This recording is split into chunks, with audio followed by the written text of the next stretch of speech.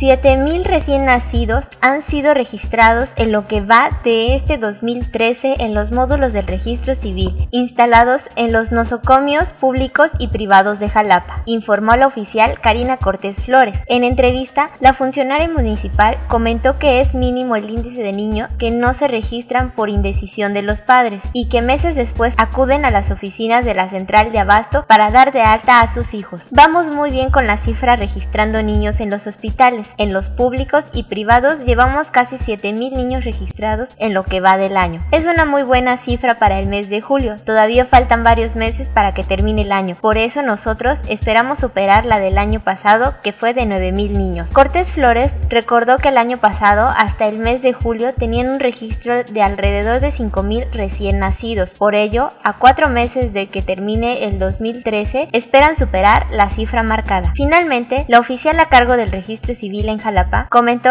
que diariamente registran entre 5 o 6 niños en sus instalaciones cuando deberían otorgar actas de nacimiento únicamente a niños extemporáneos con más de 6 meses de edad.